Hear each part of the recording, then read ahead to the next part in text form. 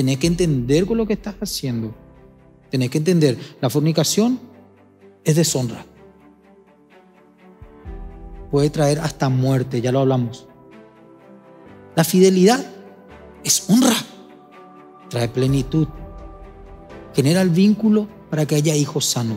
¿Qué es lo que no entendemos? ¿Y por qué hacemos lo otro? ¿Qué es lo que nos pasa si tenemos la mente de Cristo?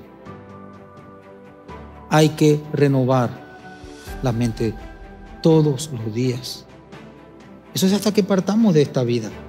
Eso no va a terminar, porque si no renovamos nuestra manera de entender la vida, nunca vamos a comprobar que la voluntad de Dios verdaderamente es buena, agradable y perfecta.